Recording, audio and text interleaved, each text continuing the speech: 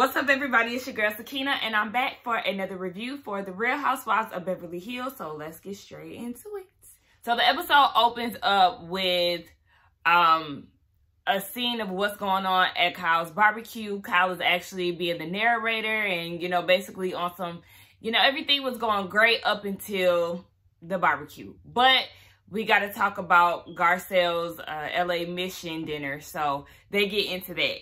So Garcelle is getting ready. She is being honored by the LA Mission for her work. Uh, she is inspired by her upbringing in Haiti and she wants all the girls to come genuinely. So she doesn't want a whole Teddi situation like you guys don't have to come. She wants y'all to come and be present. She says that she's riding Rinna and we see them on their way to the dinner and Garcelle asks about Santa Barbara. How was it? And Rinna talks about the whole Denise situation and how she said that her daughter brought up the threesome. Now, they were saying that um, Denise was trying to make them out to be a bad mom and whatnot. But Garcelle backs Denise up like I said she would in my last review. She backs her up and was like, I get it. You know, there are time and places when it comes to adult conversations and when children are around. And I agree you know, regardless of whatever, I know that Denise is being a little, you know, overreacting to an extent. My packages just came. and it's early. I'm happy as fuck. Okay, anyway. So, um, yes, she was saying that there is a time and place for everything.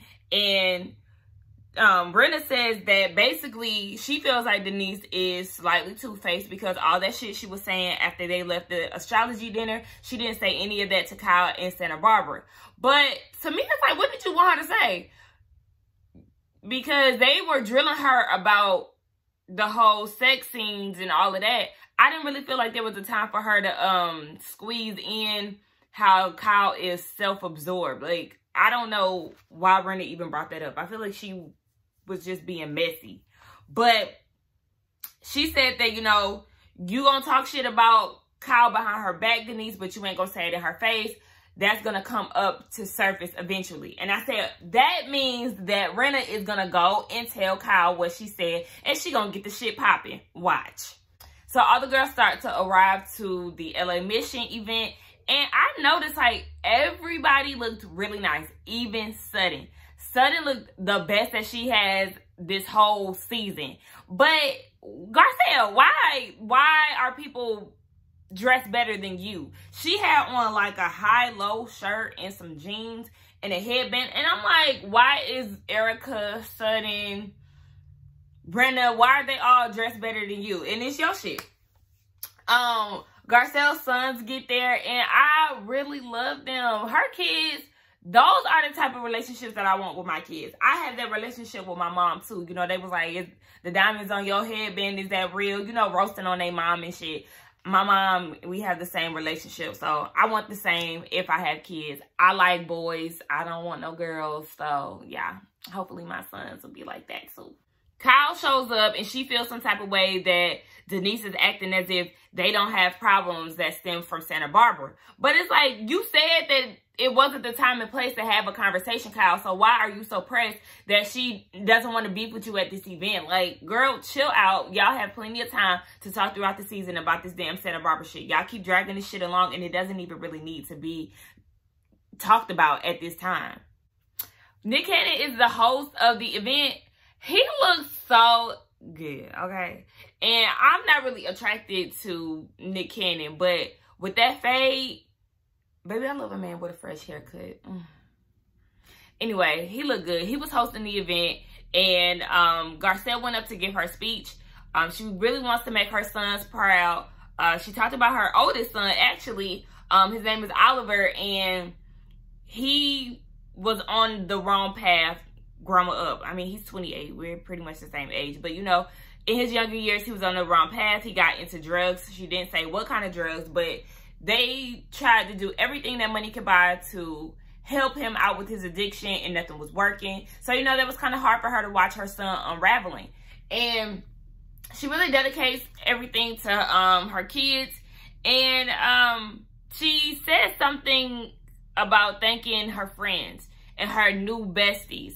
Some of them not really.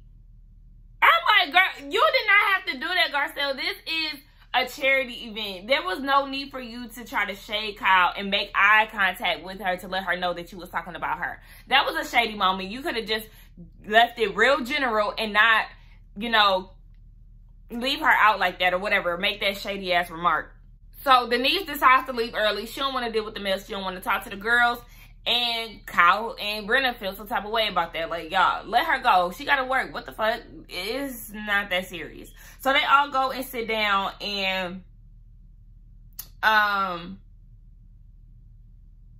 Rinna says that Denise is overcompensating, um, trying to create this good girl image. The same thing that Kyle said. Trying to create this good girl image to kind of mellow out the fact that she talks about happy endings and big dicks, da da da da da.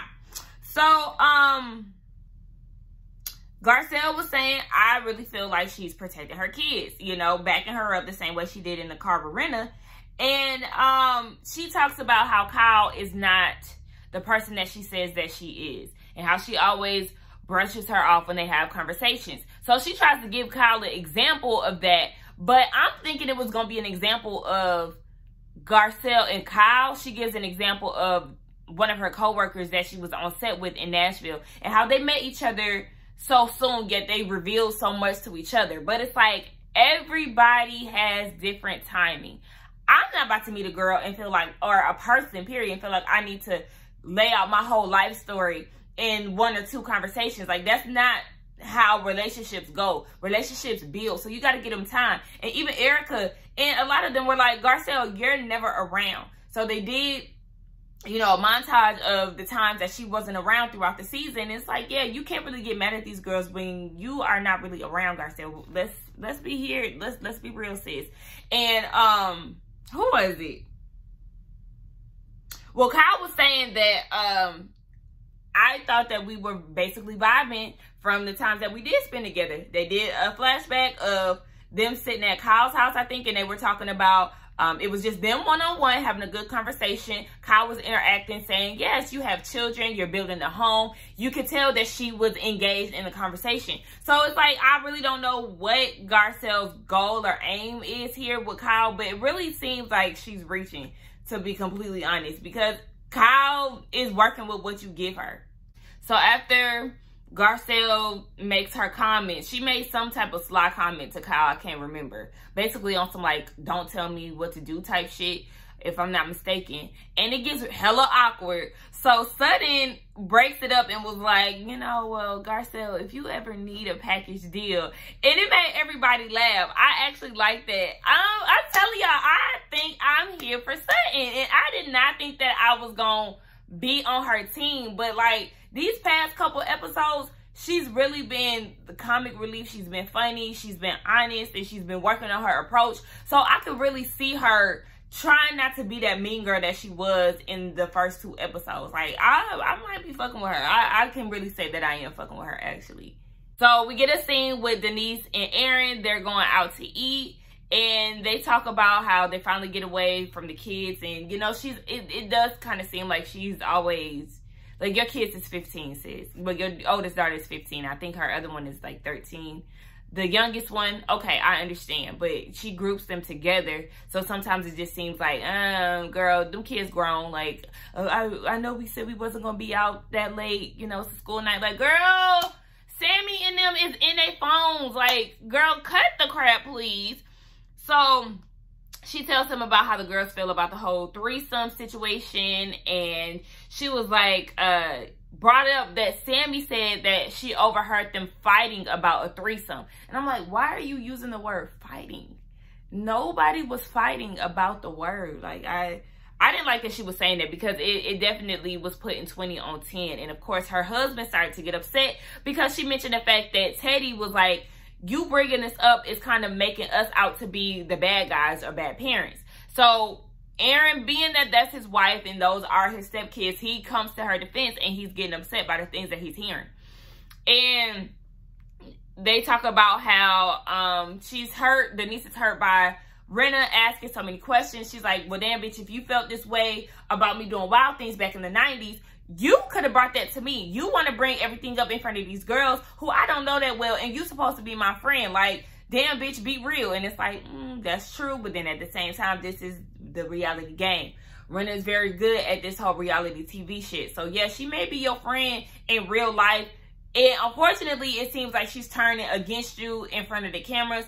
That is fucked up. And y'all do need to have a conversation. And you need to call her out on her shit. Because you and Garcelle have this long lasting relationship outside of the housewives and she has your back. So I feel like you need to call Rinna out on her shit. And then you also need to just peep how she is and not really fuck with her further, you know, furthermore outside of this show. They mentioned that they are invited to Kyle's uh, barbecue. Aaron doesn't want to go. Denise encourages him to come with her. And, you know, we'll see how that goes later. It's the day of Kyle's barbecue. Garcelle gets there first with her kids. And I wasn't aware that it was a family event, but it is.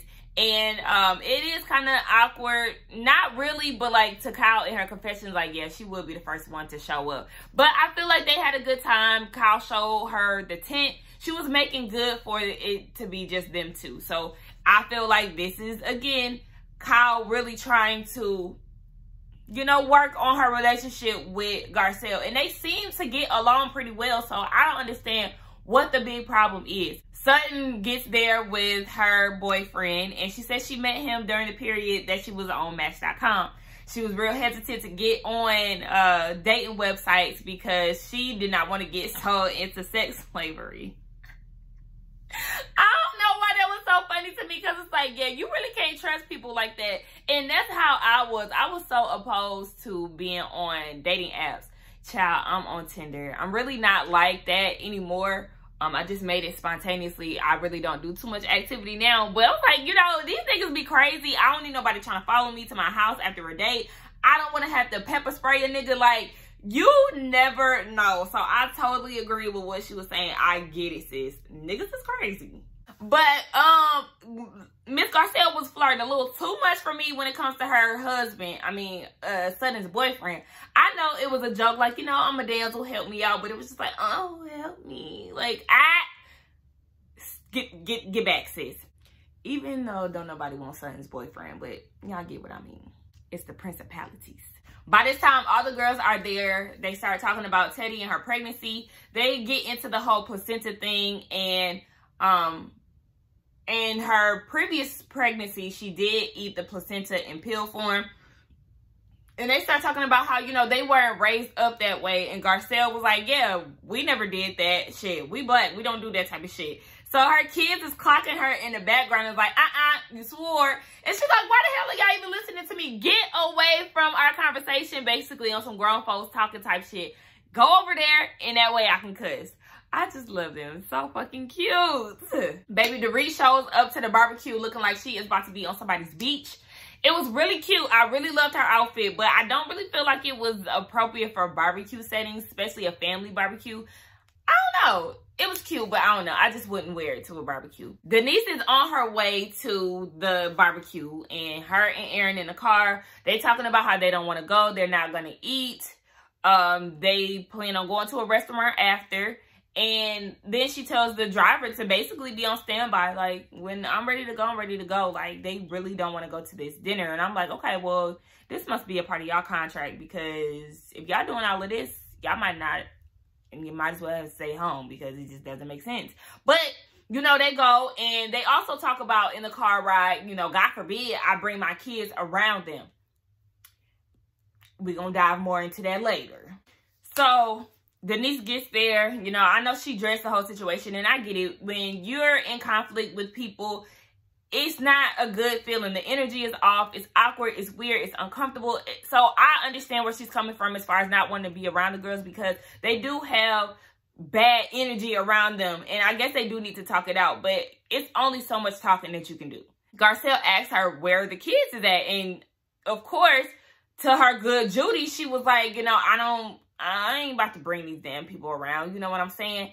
And um, Kyle overhears and was like, wait, is that the reason why you didn't bring your kids? Like, I never want you to feel like you can't bring your children around us because it's not even like that. It sparks up a whole conversation with Teddi. Like, so you feel like you're uncomfortable to bring your kids around us? Is that the situation? So then Denise starts to make up all these excuses saying that, you know, they wanted to have a date night between her and Aaron. But then when she walked in uh, to the party, she told Kyle that you know, they were at slumber parties and play dates. So it was like, okay, which one is it? But we already know because she told her truth to Garcelle and in the car ride that she doesn't want to bring her kids around them. So the girls are picking up on that and they see that that's what she's saying. But for some reason, she's not being honest. And I don't like that. Like, if you're going to talk shit, be real. And that actually backs up what Rinna was saying. Like, you talking all this shit, but you really not being upfront with the girls. You're not keeping it a bug. So Garcelle comes to Denise's de uh, defense again and was saying that, you know, I understand why y'all don't get it, why she wouldn't want to bring her kids around. But in all reality, y'all, the daughter is not upset about the threesome talk. The women are not a threat to her children. She's acting as if one of them threatened to beat her kid's ass or something. You know what I'm saying? The kids was not put in we're not putting any type of harm's way around the women. So I really feel like Denise, you being a little dramatic. Like I get you don't want your kids to be exposed to certain things, but the way that you're going about it is making it seem as if these women are bad people. So Teddi says, you know, again, this does make it seem as if you're making us come off as bad moms. So this triggered Aaron and then he chimes in and was like, um, this is ridiculous. And then he said that, um, the instructions of what they requested at their dinner was real simple, you know, keep certain conversations to a minimum when there are children around. Again, agree. But you're a man, stay out of the stay out of women's business, please. Lisa asked her, like, Denise, what was the conversation that you had with Sami? Like, how did Sami approach you when it came to the threesome topic? Of course, they did the flashback again of how the conversation really went down. Denise asked her what she overheard, what was said. Did you hear anything? She said, yes, we heard y'all talking about the threesomes and it's okay. We thought it was funny. So, of course, Denise is lying. So she doesn't want to go into that with Rinna. She was like, you know, that conversation is between me and Sami. You, you know you full of shit. They know you full of shit because if your daughter was really upset the way that you're painting this picture, you would be able to be like, my daughter came to me crying and she said X, Y, and Z, but you ain't got really nothing to say. And that's when you automatically shut the shit down. The girls already peep you. They see you for your work, sis. Kyle's friend is there. Ooh, I'm spitting. Jesus. Kyle's friend was there and she was like, the kids probably already know what threesomes is. And she was sitting across from Aaron. So he's like, yeah, um, they probably already do, you know, but we don't want them to hear things. They get curious to find out what that is, go to Google, and now they're knowledgeable on some shit that they overheard us talking about. Like, we don't want that type of thing for our children. So Aaron then goes and tries to control the conversation between the girls, like, all right, girls, let's move on. Let's not talk about this. Let's talk about something else. And they all looking like, excuse me. Erika then gets up and was like, you know what? I'm not dealing with this type of shit. I will cuss this nigga out. And that's how I feel. Like, I would have to remove myself from the table too because your husband is out of line. You're not checking him, Denise. Dorit even said, you know, there's times where PK has gotten into the women's drama and stuff. And she was like, you know, it's not going to end well. Aaron, maybe you should just be quiet. And I feel like maybe you need to tell your husband that next time he interjects because KPB, ugh, I don't really like him. Anyway, um, yeah, and Aaron, you you need to move around. You need to go over there with Edwin because Teddi gets up and leaves the table too. And I'm like, Teddi, where is your husband? I see that he was actually off um with the kids, so he probably didn't have any idea of what was going on. But it made me wonder why was Aaron the only one at the table with a whole bunch of women? That had to be production because production knew that he had some type of feelings towards the women. So, or either that or Denise wanted him to stay there to defend her. I don't know what it was, but all I know is he was doing way too motherfucking much. And it was starting to piss me and my homegirl sitting at that table off. The women feel uh, mommy shamed and um, Kyle says that Denise is being real passive aggressive in her responses. So then Aaron goes and tries to challenge her on that and was like, "Oh, so, so what's the definition of uh, passive aggressive?" And Kyle gave gave him the rundown of the things that his wife was doing, and he was kind of like trying to cut her off and shit. And she was like, "I'm trying to talk, but you're not allowing me. I'm I'm talking about your wife, like you know, just being real aggressive with her." And I'm like, "Baby, where is Mauricio? He need to come from that damn game that he was at and come and check this motherfucker because he doing too much." Then he tries to tell them to get over it. It's like, yes, everybody needs to get over it. Y'all need to get over it. The girls need to get over it. All of this shit is like crazy. If you really think about it, we really doing a whole storyline about a threesome being overheard by her children. Like, let let that sink in and think about how dumb and small this is. Like, this has led to so many episodes. It's going to carry out for the rest of the season. This is ridiculous. Like, I agree. This the conversation is silly, but both of y'all, both parties are doing the most. Denise gets mad at Teddi, basically pointing a finger at her like, you're a shit starter. You're the one who got all the shit started. Says that Teddi did not have the same energy when they went to the spa. You know, she was hearing Denise's side and everything. And then when they get to Santa Barbara, she points out the fact that, you know, Denise is obviously bothered by it. And I feel like, I mean, she could assess the situation. Teddi is allowed to assess that. She can hear what you say. She can hear how it was coming from everybody's point of view at Santa Barbara when all y'all were together. Like she's allowed to feel that, uh, to feel the vibe before really coming to a conclusion of how she feels about the situation. Really, Teddi is right because it's like, yeah, you are trying to mommy shame. You are pressed about the situation. You are being passive aggressive. You're being dramatic as fuck. I just don't get why it's being drawn out. Like, it's not that big of a deal. Denise wants to drop it. Y'all just let her drop it. Let's drop it. The fuck? Because Denise brought up the whole situation and how they had already been talking for two hours.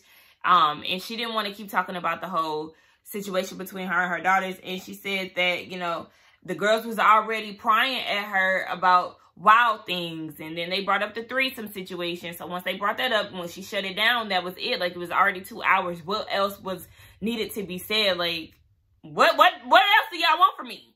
So then she is fed up. She gets up. She walks out and she was like, Aaron, let's go. Don't say shit because we are on camera. And I'm like, okay, well, what did, what did you want him not to say? Because he wasn't really saying nothing. But did y'all peep that Aaron threatened her? He was like, don't tell me not to talk or I will squeeze your hand or something like that that he said. Yeah, like crushing her hand if she keeps threatening him not to talk. I'm getting a lot of abusive teas with that because that was extreme. Like, sir, what? That man might be crazy. The girls chase her out and they left this with a to be continued. So that's the end of the review. Um, my thoughts on it, I feel like Denise is right as far as, you know, there being adult conversations away from children. I do feel like she's being dramatic as far as not allowing the kids to be around them as if they just talk about X-rated stuff all day, every day. That's extreme as hell. Um, Aaron, you're way too involved. I hate when men do that. Go and talk men talk with Teddi's husband or whatever. Like, he should have excused himself from the table once the block started getting hot. Like, I... It's really unattractive when men do that. Um, anyway, we'll get more into it. They gave us a preview of what's to come in the season.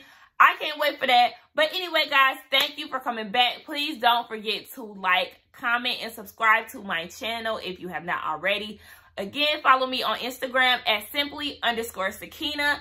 I want to get connected with you all. Thank you for commenting and all of my subscribers that I have so far. I cannot wait till we get to 100. We are almost there. But yes, I will see y'all in the next one. Bye-bye.